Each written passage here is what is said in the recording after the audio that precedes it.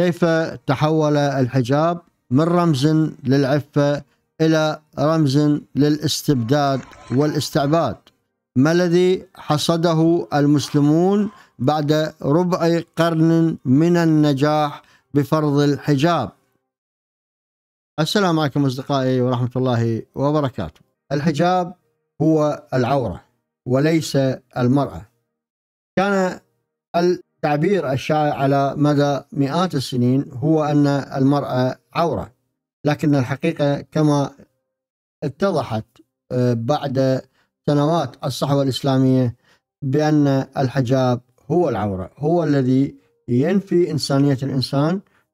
امرأة كان أو رجلا ويحاول أن يعور أو يجعل الجسد والروح الإنسانية التي تعبر عن هذا الجسد آه، مسألة عورة. ولكن هذا الذي حصل هو العورة بحد ذاته.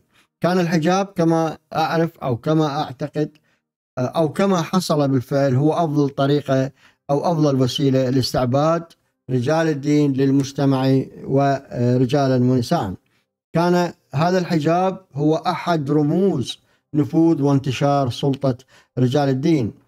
بعد أن نجحوا في هذه العملية بفعل كثير من المؤامرات وال يعني التحالفات مع قوى كونية كونية أو قوى كبرى أو قوى محلية. ما الذي حصدناه بعد ربع قرن أو ثلاثين عاما أو منذ السبعينات تقريبا حتى يومنا هذا من هذا الحجاب؟ النتيجة كانت غريبة جدا. لم تقر المرأة في بيتها وفقا لعبارة أو آية وقررن في بيوتكن لكن المرأة بالنهاية تمردت على هذا الحال ووضعت الحجاب على رأسها وخرجت حيثما شاءت. دخلت في كل مكان. ارتدت الملابس التي تهوى التي ترغب بعلاقة جديدة تلبس الملابس المثيرة تضع المكياج المثير وتلبس الحجاب الذي يريده منها رجال الدين. المرأة التي تريد أن تشق طريقها في الحياة والعمل دخلت في كل مكان. لم تترك مكانا لم تدخله وكان جواز السفر هو الحجاب الذي كان كانت كانت النوايا هي أن هذا الحجاب يجعلها تقر في بيتها. هذه المرأة أيضا السنوات الأخيرة بدأت تكشف عن تمردها على هذا القانون أو هذا هذه الفريضة اللا فريضة أو هذه أو أو التقليعة الدينية التي لا سابق لها ولم يكن لها آه، أي معنى حتى في تاريخ الدين نفسه. ولكن رجال الدين خلقوه وصنعوه لكي يعبروا به عن سطوتهم وعن فشلهم أيضا. في تقديم أي حلول حقيقية للناس. قدموا لهم حل واحد يدعوا فيه بأنه من هذا الحل هو يستر عفة الناس ويحافظ على أخلاق الناس وفي الحقيقة أفسد الناس ونشر الرذائل بأنواعها. بالعكس هذا بعض الناس اعتبروا الحجاب وسيلة للمرور بشكل حسن كما شرحت أو بشكل سيء كما تبين آه، من بعض الأفراد. أيضا معنى بالنهاية لم يقدم الحجاب شيئا إلا إلا طريقة جديدة للتمرد وطريقة جديدة العمل وانفتاح على الحياة وأيضا طريقة جديدة للنفاق والكذب والدجل. المفارقة أن هذا الدين الذي يدعي بأنه جاء أو هو هذا الحل آه، الذي سيحول الناس من حال إلى حال آخر. هذا الدين نفسه أصبح يتستر خلف هذا الحجاب. وضع هذا الحجاب أمامه في النهاية بعد أن فشل في كل جانب من جوانب الحياة. كل الفرص أتيحت له. استلم حكومات استلم دول حرك شعوب أخرج تظاهرات اغتال تآمر فعل كل شيء. بعدا بالنهاية لم يتبقى له سوى الحجاب. أصبح الموئل الأخير لهذا الدين هو الحجاب الذي تضعه المرأة على رأسها وهذه مفارقة وتدل على مدى صغر حجم مشروع الإسلام السياسي بشكل عام ولو أنا أعترض على فكرة إسلام سياسي لأن لا وجود لإسلام سياسي، إن وجد إسلام سياسي فهل هنالك إسلام غير سياسي؟ هذا كلام لا أفهمه. ليقل لي أحدهم إن هنالك إسلام غير سياسي حتى أصدق بوجود إسلام سياسي. على كل حال أنا أشوف المرأة خرجت وتمردت تمردت على هذا الحجاب وأن هذه المرأة باتت تستطيع أن تقول للجميع أن هذا الحجاب الذي وضعته على رأسي لم يعد يمثلني ولم يعد يقنعني ولم يعد حجابا.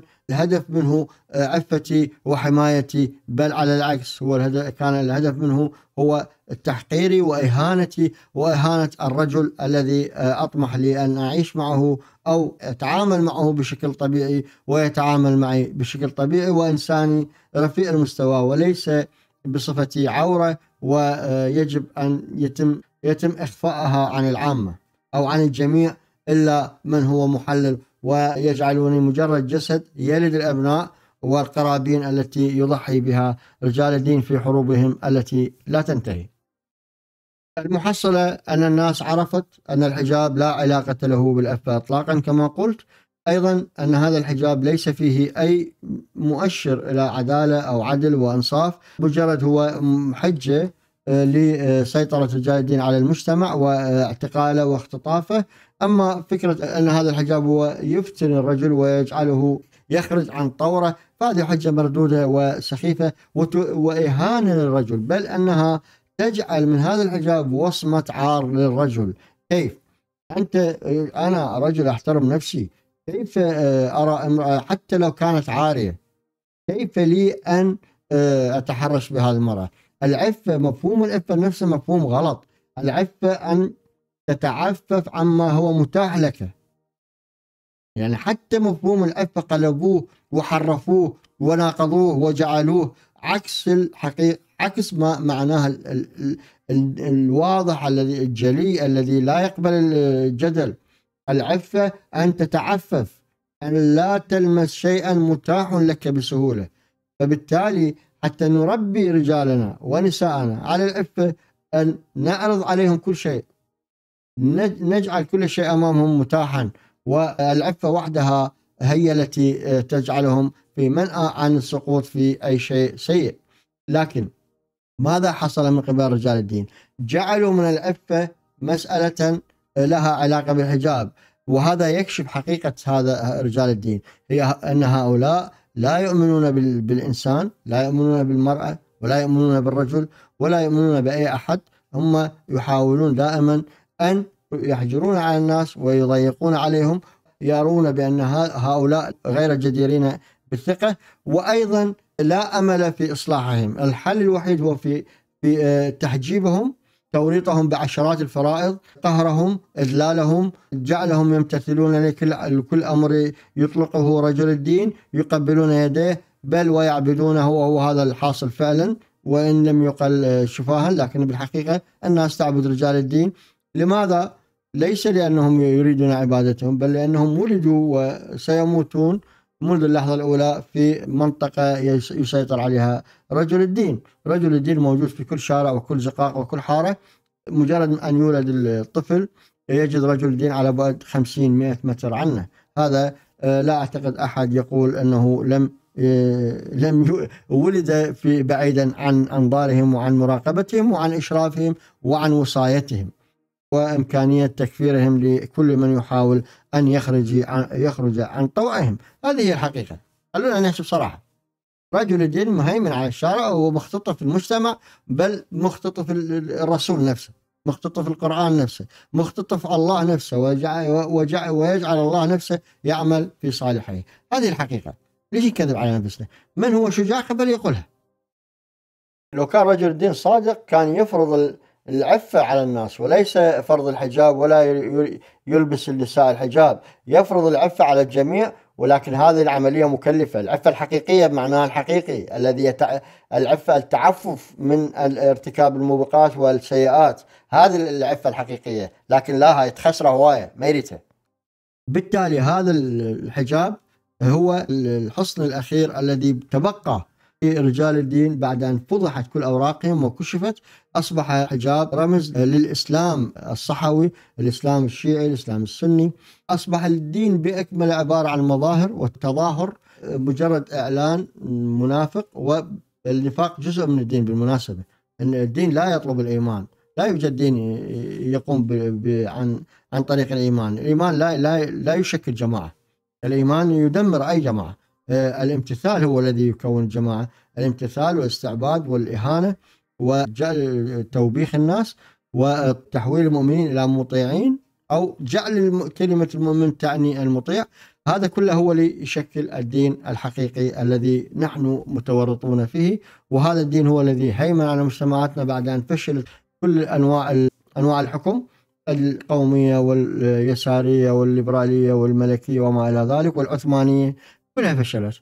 وشرحت الموضوع في هذا الفيديو الخاص بموضوع القوميين والإسلاميين من صدام حسين إلى عبد الناصر. ممكن تشوفونه بقناتي الخاصة. الآن تبقى هذا النموذج الإسلامي وهذا أيضا ثبت أثبت الواقع بأنه لا جدوى منه بل دمر ما تبقى منا وسحقه تماما. وعبرت عن هذه المسألة في الحلقة الأخيرة عن موضوع أنه إحنا نختار الحلول السهلة ودائما نخشى مواجهة أنفسنا.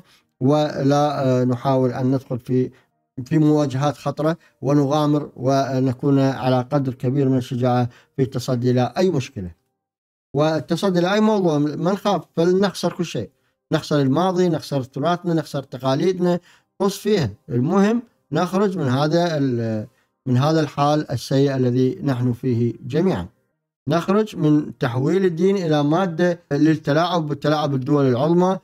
هذه هي الحقيقة. ورجل الدين أصبح شخص مشبوه كما قلت أكثر مرة. أصبح هذا الدين بأكمله عبارة عن شيء مشبوه. يستخدمه كل كل طامح وسياسي يحاول أن يصعد على أكتاف الناس.